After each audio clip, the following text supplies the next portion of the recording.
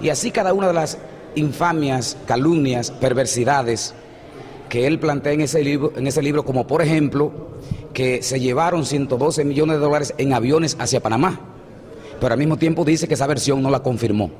Lo dice, pero dice que no la pudo comprobar. De modo que yo estoy decidido a eso. Y yo me alegro que ellos también estén decididos a ir a Miami. Eso es lo que yo quiero. Por eso lo sometí.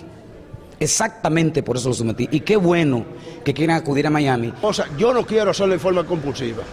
Yo lo que quiero es que todo el mundo venga, diga en qué fundamenta su denuncia, que presente papeles, porque nosotros somos una comisión investigadora. Eso es todo.